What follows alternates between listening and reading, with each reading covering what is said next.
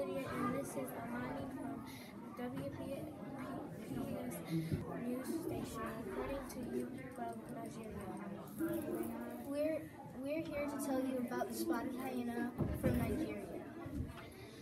There are there are only three different species of hyenas. Also, only one type of hyena has the lab that hyenas is the spotted hyenas. That spotted hyenas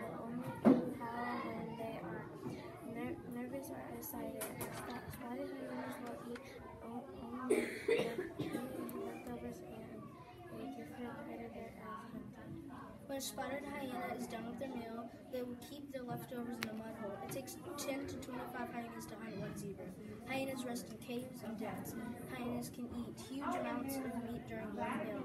Hyenas eat a whole animal, including skin, hooves, bone, and teeth.